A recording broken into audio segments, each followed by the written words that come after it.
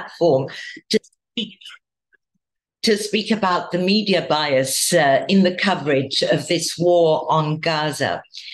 Uh, as we know, it's a fact that truth is often the very first casualty of war. But the lies, the deception, the misinformation and disinformation witnessed in the coverage of the war on Gaza by some media, the bias and racism is unprecedented, I would say. Also, the persistent dehumanization of Palestinians, as if their lives mattered less or didn't matter at all. The censorship of pro Palestinian voices has also been clear during this war. The irony is that the censorship is being practiced by those same news networks and outlets that many of us uh, had long believed to be balanced and objective, and which were previously thought to be advocates of free speech and freedom of expression. When the October 7th attacks happened, they were covered by they were covered extensively by all media outlets but Israel's disproportionate response was downplayed by a lot of media. So, six weeks into the war, and with a death toll of more than 15,000 Palestinians, half of them children, some Western journalists are still asking guests on their show, the analysts and the political commentators, whether they condemned Hamas. Never mind that schools, hospitals, UN facilities had been bombed, more than 50 journalists killed, medics targeted, uh, Doctors Without Borders, UN staffers. Many of us following the news were utterly dismayed by the one voice narrative, appalled even at how some Western media acted as a mouthpiece for the Israeli government and the Israeli military. They were simply parroting their propaganda without questioning what they were being fed. And in turn, they were feeding it to the public. They used one language for Israelis and another for Palestinians. Let me cite some examples. Terms like brutal murder, like atrocities or massacres, were used only to describe the deaths of Israelis, but not Palestinians. One headline used uh, the word dead for civilians killed in Gaza and killed for Israelis that were killed in the Hamas attacks. Now, how did those civilians in Gaza die? It wasn't in a natural disaster. The Israeli claims of beheaded babies were still making headlines without any concrete evidence to support such claims. And this despite denials from some Israeli officials. On the other hand, the story about the IDF indiscriminately shooting at people on October 7th, including at their own people, the Israelis. Uh, some were killed by friendly fire. That didn't make headlines in the Western media. Another example is the hospital attack. One headline read Strike on Gaza hospital kills hundreds, Palestinian officials say. Attack by who? This was perhaps deliberate to make readers question that it had happened at all. After all, there were numerous reports questioning the death toll given by the Palestinian Health Ministry and saying that the numbers were inflated, even though United Nations experts clearly said that the actual number was likely much higher because of people still buried under the rubble. Now, just compare that with the coverage of Russia's war on Ukraine by the very same news organizations.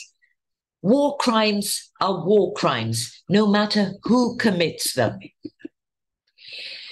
How can the targeting of schools and hospitals be a war crime when committed by Russia, but not when committed by the IDF? Many Western journalists, and I'm not saying all, but many, turned a blind eye to what literally was staring them in the face.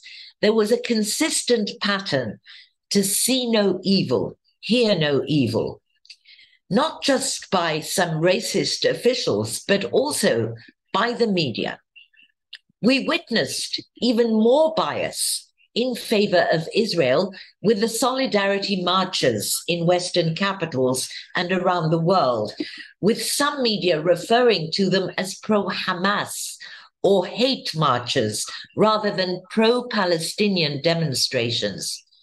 Why is an entire population being equated to Hamas when half that population wasn't even born when Hamas was elected in government?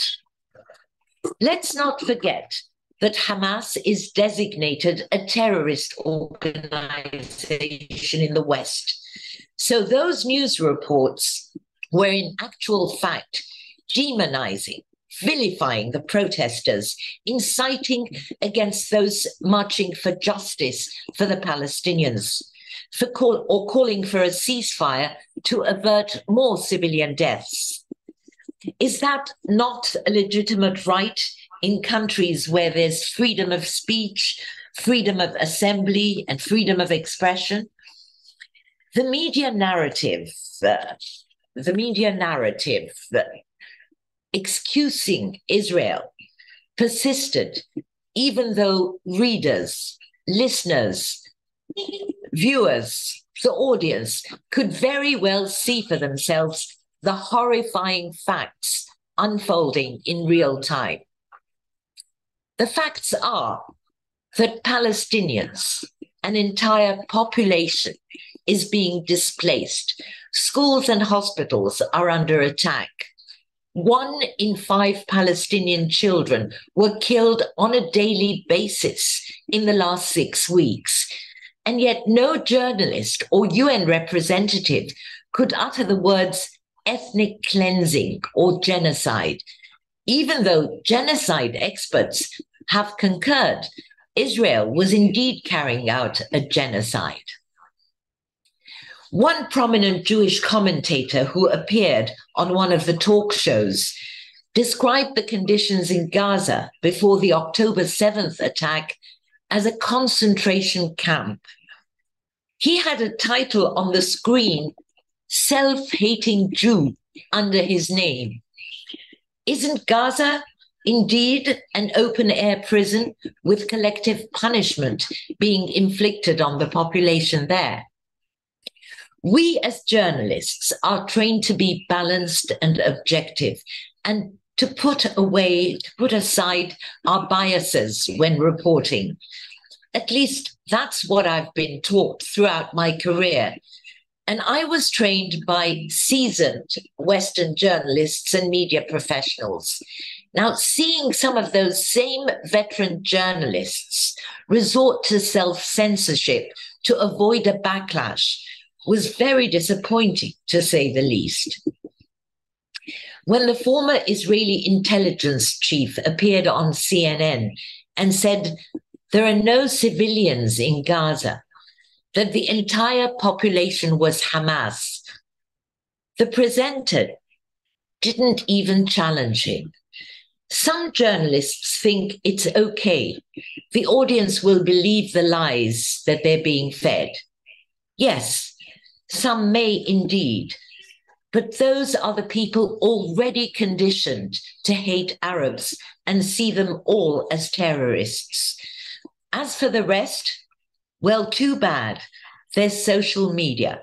What the mainstream media tried to hide was exposed on social media platforms.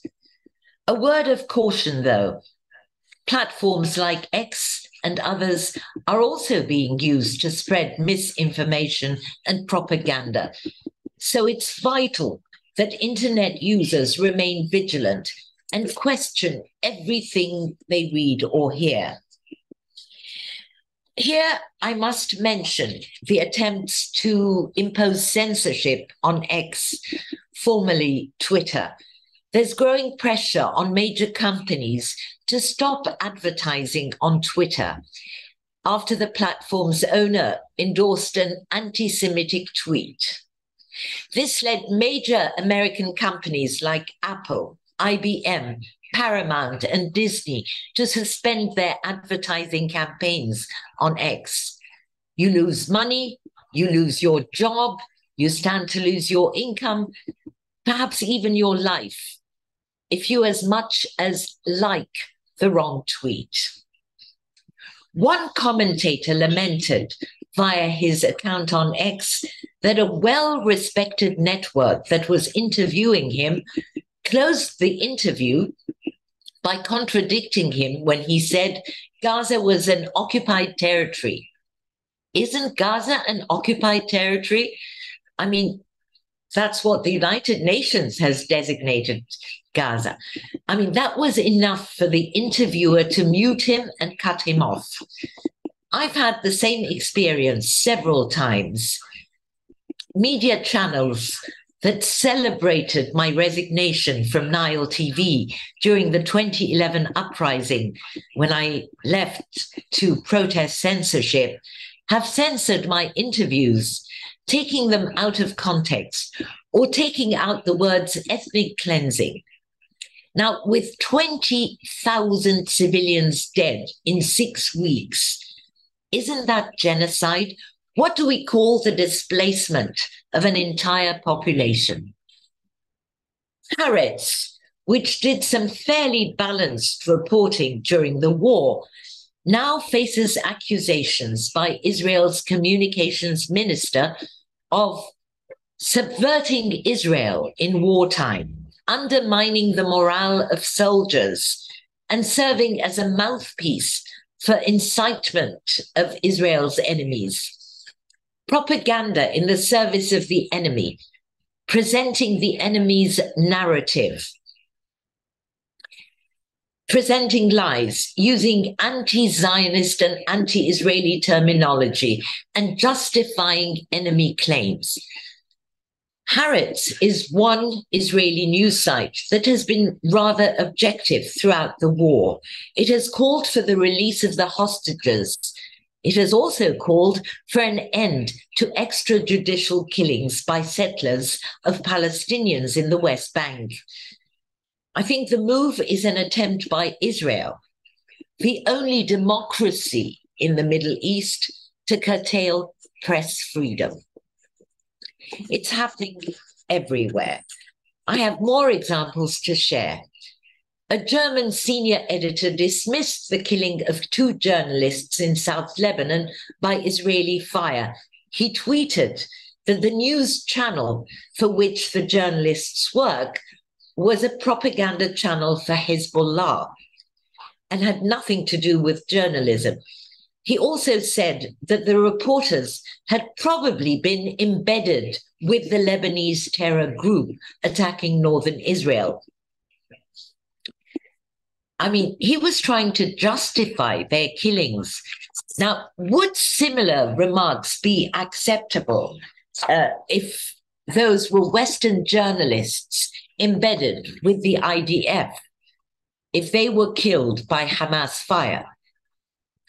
It's not just Germany, Canada, Bell Media, which operates various Canadian news networks and websites, including CTV and BNN Bloomberg, it's been exposed by its own journalists who said CTV directed us not to use the word Palestine, and that senior editors had told employees that protests calling for a ceasefire should not be reported on this is Canada, the free world.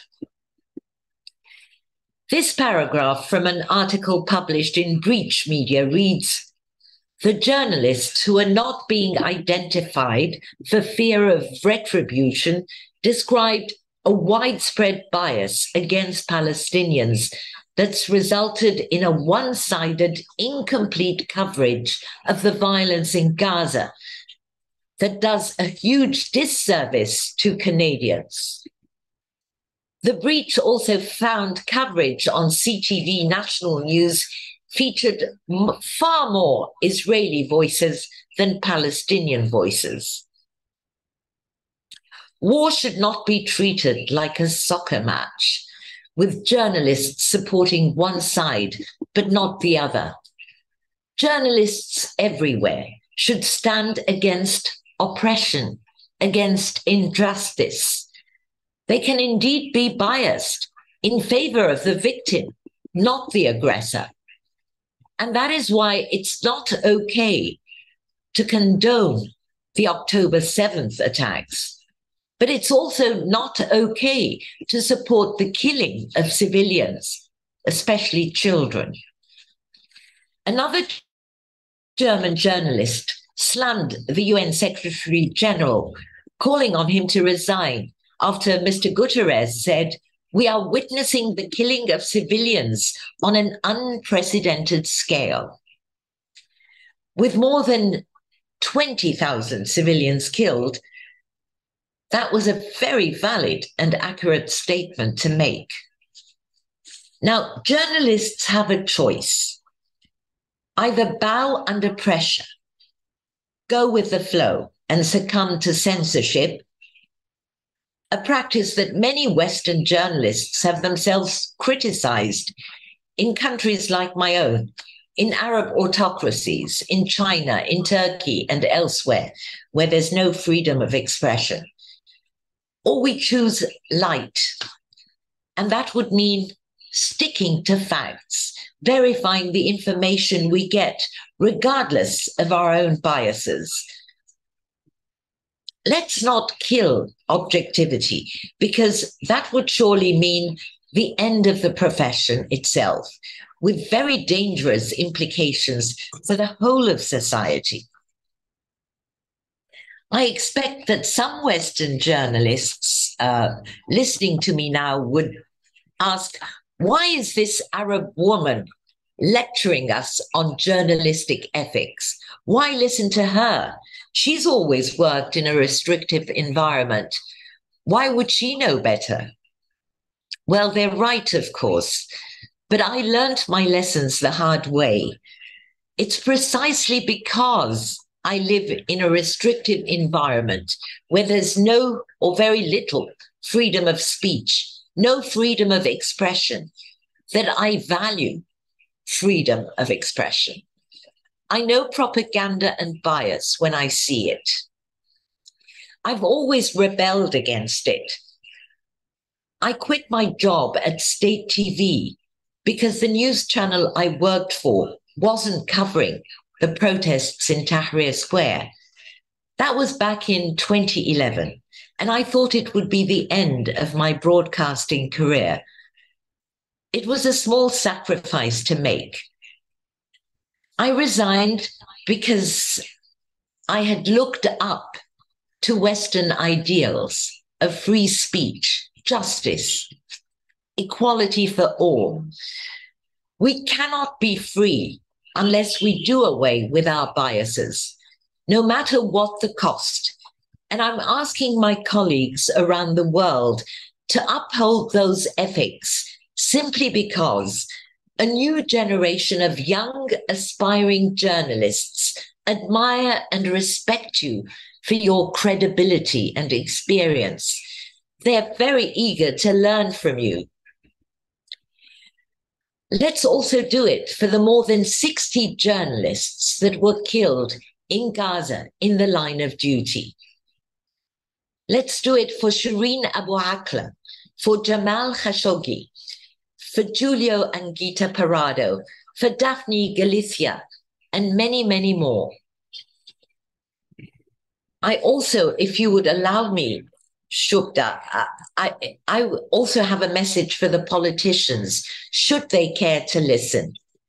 Being racist may win you votes at the ballot box but it will strip you of your humanity and your credibility.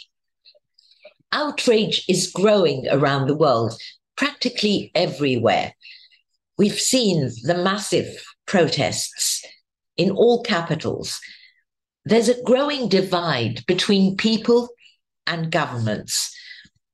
Now, Arab sent, anti-Arab sentiment and Islamophobia need to be addressed seriously, just as anti-Semitism needs to be addressed. This is our duty as journalists. Manipulation and warmongering isn't our duty. We need to advocate for peace, not war. When a Republican lawmaker from Florida said she wanted all Palestinians dead in response to a question by the Democratic Florida state representative who had asked how many more Palestinians will be enough? Her shocking response was the result of decades of dehumanization of Palestinians, not just by advocates of Israel's apartheid, but also by their enablers, including the media.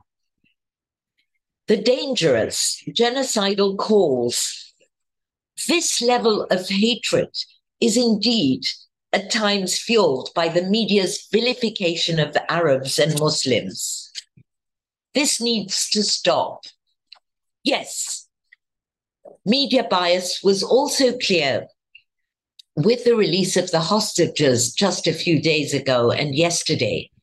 Uh, they were exchanged you know, for Palestinian detainees in Israeli prisons. Now, the Israeli hostages received extensive media coverage, while there was far less coverage of the released Palestinian detainees. In Israeli media, all Palestinians released from Israeli jails were labeled terrorists, although some of them are minors. Some others were never convicted or were tried in military courts. The Western media told stories of the freed Israeli hostages, humanizing them. We know their names, their age, and their life story. But the released Palestinian detainees were again dehumanized. They were merely referred to as being male or female. We did see some exceptions, though. And I have to commend CNN's Nima Elbagir, who did a great job of telling both sides of the story. She's an exemplary model, a light amid the darkness. Now, the role of the media is to educate, to inform, and hold people and governments to account. When Christiane Amanpour interviewed former Israeli Prime Minister Ehud Barak. He said Israel had built the tunnels under Al Shifa Hospital. And yet, Israel and some media insisted that those tunnels were being used by Hamas as a command post. This is the importance of a free and fair media, a media that seeks facts and only facts and reports them after verifying them, helping the public distinguish between truth and lies. I will end this by saying there can be no lasting peace in our region, the Middle East, without justice, without freedom, but most importantly, without a free media. We need to free our region and the world from pressure groups, from special interest groups, from lobbyists, and from the biased media everywhere. And this includes in my own country, Egypt. Thank you very much. Thank you so much, ma'am. I um, I really agree with the points that you have made because this kind of reality is specifically in the censorship of media quite prevalent here too. And um, the kind of silencing of voices for the Palestinian cause or even um, the discourse that has been created is state versus terrorism and not the humanitarian angle of it. And that is something which is very troubling. At the same time, the entire uh, military, industrial, governmental nexus that has developed all over the world, media becoming just a scapegoat of it. There are two things which I believe are happening right now. The first is that most of the reporters and a lot of embedded journalism again has started with CNN and all of them being embedded uh, through IDF and then reporting. But uh, one of the problems of journalism has always been a certain kind of parachute journalism that the reporters or journalists who do not know the language have no idea about the history culture about the social systems uh, are asked to report about a conflict where they do not have time to go into the historical discourse to even build an opinion for themselves so they are at the complete um, uh, propaganda of whoever is funding them and what their ideology is. That is one thing which I believe is happening. And the second thing is that equating every Palestinian voice with Islamophobia, which has, uh, because religion is the most sensitive issue, and mixing this with journalism has created a much worse nexus right now and making it very difficult. Like when i went to west bank what they do with the indian passports is that uh, they give you numbers out of 1 to 4 so 4 if it is given on your passport by israel it means that you are not a threat you have not done anything or written anything against them or whatever. 3 is that but you might have spoken some time or tweeted sometime or done. If it is two and one, you'll be immediately deported. Immediately. And the worst thing which I saw, which was something which I just don't understand that how is it possible, is when we went through Jordan to um, the Israeli border to go to Jericho in West Bank, with us with our group we had uh, uh, you know couple of like two australians one canadian one british who were grandchildren of palestinian heritage uh, diaspora they were locked in white rooms at the border they were just locked in the white rooms and for seven hours uh-huh. there was no torture on the body no evidence of assault nothing Nothing. They were not humiliated, nothing. Just locked in for seven hours. And we were there waiting for them for seven hours at the same border. And uh, we just didn't know what's happening. And the only crime was that their grandparents or great grandparents were Palestinians and they were trying to visit West Bank for the first time.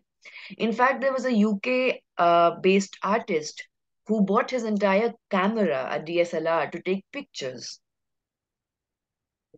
While returning, everything was taken away from him. And this kind of brutality, like being a Hindu, um, because of our team, I was allowed to get into Al Aqsa Mosque because they ask you to chant something from the Quran. So we had help, so we were able to go. But there were so many Palestinians for whom it was the most religious place and they have it's never a holy site it's a holy site for muslims around the world yeah and they have never been to al-aqsa and it was something which was very horrific specifically the uh, sensitivity which i saw in hebron and how you know because the ibrahimi mosque half of it is a mosque and the other is a synagogue. So uh, the kind of backlash that anything can happen anytime.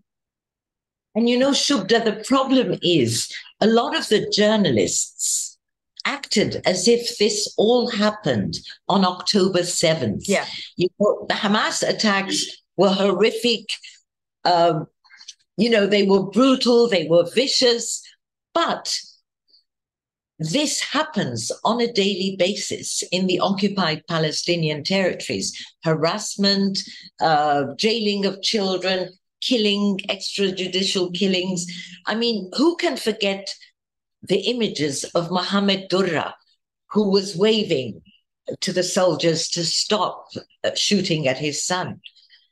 Uh, and I, I really think that, of course, this didn't start today, but I really think that the April raids by Israeli police and security forces on Al Aqsa Mosque were the trigger for, for this uh, particular, those atrocious attacks on the 7th of October. So violence only breeds violence. And, you know, there has to be an end to this vicious never ending cycle.